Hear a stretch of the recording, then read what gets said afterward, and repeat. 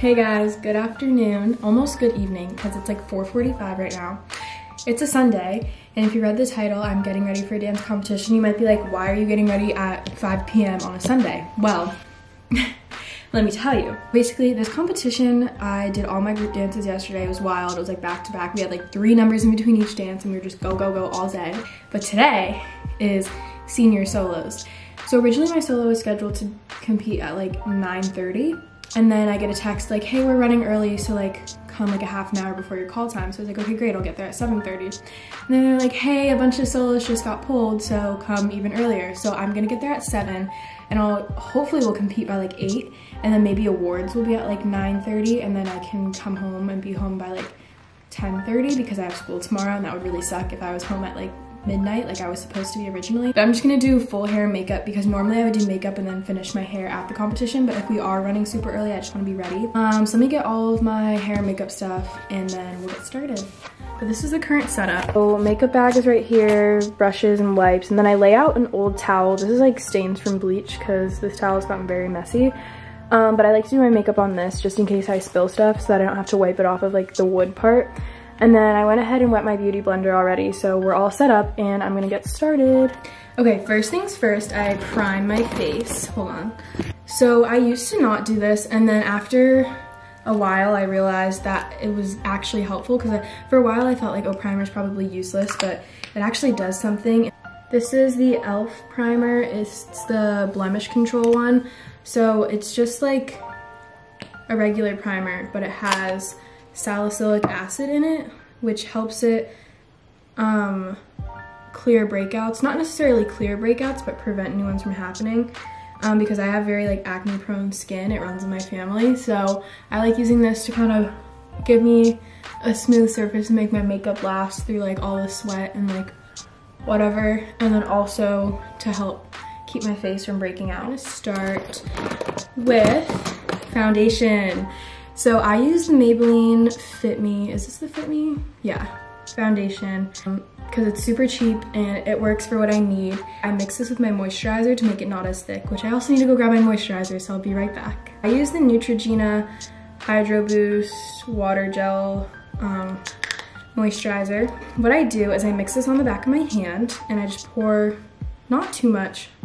Okay, well that was kind of a lot. And then I take like a little bit less than the amount of foundation. I take a little bit less of the moisturizer and I just mix them together. And this helps thin it out and also my skin gets pretty dry. So this helps it stay moisturized throughout the day and so that I don't look all like dry and like flaky because obviously that's not good. um, it's still pretty tinted, which is good. You can literally see my fake eyelashes in the mirror, but it's not as intense, which I like because I hate when it's a lot. So I put this on my cheeks and then I skip my forehead because my forehead is pretty even as it is and I don't really feel the need to put it everywhere.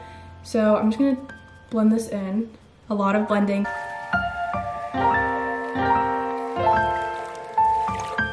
I also blend it onto my ears because nobody likes when you are two different shades and then blend it down your neck too. Next step is concealer. I use the Tarte Creaseless Concealer, but I just put a little underneath my eye and then kind of up following the natural like curvy eyes to like bring it up. And then same thing, I just blend this out. And then I kind of use this as like a eyeshadow primer too, so I'll literally take the whole flat end of the Beauty Blender and just like stamp it onto my eyelid um, so it has a nice even surface for eyeshadow.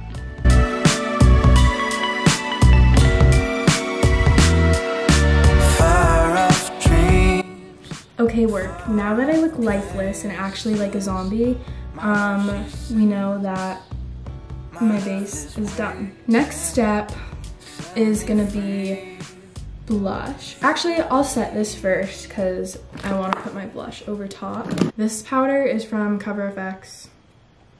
Got it at like TJ Maxx. Gonna put this everywhere. And then I'll put a little bit over where I put foundation. Literally just brush it everywhere.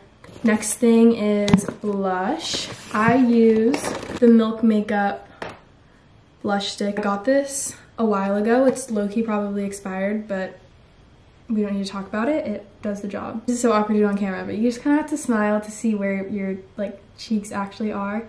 And then I bring it up to my temples and then other side. The one thing about stage makeup is that kind of if it's a mess, it doesn't matter because first of all, you're gonna be far away from the audience when you're on the stage. And second of all, the lights wash you out anyway. So if you put on like too much blush or too much foundation or something's not your exact color, like you're gonna look a little bit paler and like less dimensional on stage. So you can kind of like go ham. Let's do my eyebrows. Oh, I've been using this. I use this literally every single day of my entire life. It is the Benefit 24 hour brow setter. This is so good. It's just a regular eyebrow gel. I also need to get my eyebrows done though, but I didn't because I knew I had competition and I wouldn't have time. Um, but they're kind of really thick right now, so it's a little bit harder to get them to stay in place. That's it for brows. Now we're gonna move on to eyes. So I like brown eyeshadow the most because I just think it looks the prettiest. And the other option would be like silver, but for my costume, I just like brown eyeshadow because it's just like more neutral and I just think it looks better on me. I use the Going Coconuts palette from ColourPop. This, one of my friends gave me for my birthday like a year or two ago. But the first shade I use is Lovely Bunch. It's this color. Um, it's like a lighter brown and I kind of use this as like a base so that I can start building up on top of it. Um, and my motto with eyeshadow is if it's there, it's good enough. So as long as I get it on my face, that's fine. Now I'm gonna go in with the shade Nutty. And this is like a darker brown. It's this one right here. And this I just put on my lid because that's where I wanna have like the most depth in my eye so that you can actually like see that I have eyes. Okay, great. We're gonna move on to the last shade and that is Coolada. It's this one right here. So this is like an in-between shade and I learned from my Nana when she used to do my makeup for dance recitals when I was like six years old that she likes doing the eyeshadow all the way up to your eyelid, I mean to your eyebrow. So I use this shade and kind of just put it up at the top so that my eye looks even bigger. Yay! The only difference is my eyeshadow back then used to be blue. So, you know, you'd have blue eyeshadow up to your eyelids, but it's okay because I was like six years old, so it was cute. But if I did that now, that would be a little bit drag queen vibes. Last step for eyes, or second to last step, is mascara. Okay, so I just went ahead and curled my eyelashes.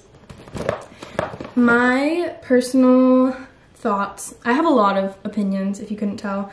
My personal thoughts are that, once again, if your makeup kind of looks a mess, mascara will save everything because it just kind of covers up your eye and then you don't look so like bald anymore. Like, do you ever not wear mascara or like curl your eyelashes and you feel kind of like naked? It's the same thing when you're wearing competition makeup. Like, you could literally have a full base and look flawless. But if I don't have mascara on, like, you just look naked. And incomplete. Okay, there's the eyelashes. I feel almost complete. I'm gonna do my lipstick a little bit later just cause it's gonna wear off by the time I get there. So I thought I'd show the aftermath because it's kind of a mess, but to be honest, this will take me like two seconds to put away. But I'm gonna do my hair first before I put this away because then I won't have to dig around in my makeup bag. I'm just gonna do middle part low bun because it just keeps it simple and it's easy to do and I don't have to think too much about it. My hair is currently straight and it's so flat at the top because it was pulled back and slicked back all day. It's also kind of crunchy, which is really gross, but I'm gonna wash it tonight so it's not gonna be gross for too long. And now I'm gonna pull it into a low ponytail with some hairspray so that I can start making the actual bun. All of my hairpins were on this earlier, but they kind of all fell into the bag, so I'm gonna have to go digging for them. But here's my hairspray. She's almost empty, which is very sad.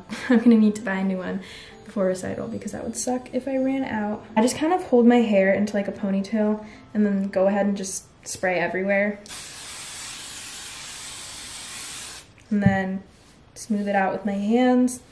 And then I take my brush and brush like a little bit up because I don't want the bun to be too low that like if I tilt my head back, it's gonna hit like my neck. Right, now I'm gonna add a little bit more hairspray, especially along like my hairline because it kind of gets frizzy when I pull it back into a ponytail.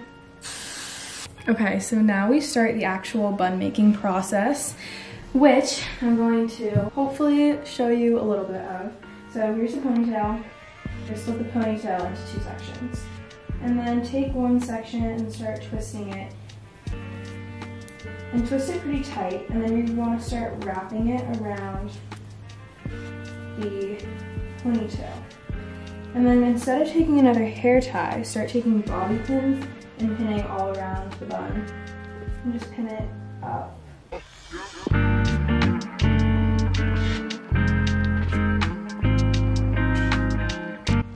So now I'm gonna take this ponytail section and do the same thing, just sort of wrap it this way, but nice and twisted. That's that. Let me grab a hairnet and then we're almost done. Now we're gonna work on just making sure it's super duper slicked and then I'll probably put more pins in when I get to competition because I have like extreme perfectionism when it comes to my hair and I don't want it to fall out. If you take a toothbrush, definitely not one you're gonna use, you can use this to get the really, really tiny wispy baby hairs nice and slicked.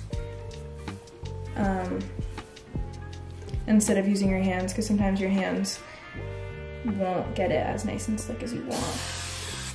There's no such thing as too much hairspray. Like it doesn't exist. This is a finished look. You wanna look like an egg, you wanna look bald, you wanna look non-existent. I'm done. I'm gonna go grab my costume um, and then I'm going to put away all the stuff that I have out because there's quite a bit of it, but I'll see you in a minute. All right, this is the finished fit. I put on my team jacket wearing the same Align tank and then I put on some sweats and some socks. I put in my competition earrings. They're like these massive fake diamonds. The time is 5.48 and I'm supposed to be leaving at 6. So my bag is packed. This is my makeup bag that has all the stuff I just used and plus some random stuff. I have all my shoes even though I'm not wearing any of them, but this is just the bag I bring to dance normally, so I just didn't want to unpack it. I'm done, I'm excited. Last time competing my solo ever, which is kind of sad because I feel like I just started learning it like yesterday, but I started learning in like November. If you guys enjoyed this video, make sure to let me know by leaving a like and subscribing if you haven't already, and I will see you guys sometime soon. Bye!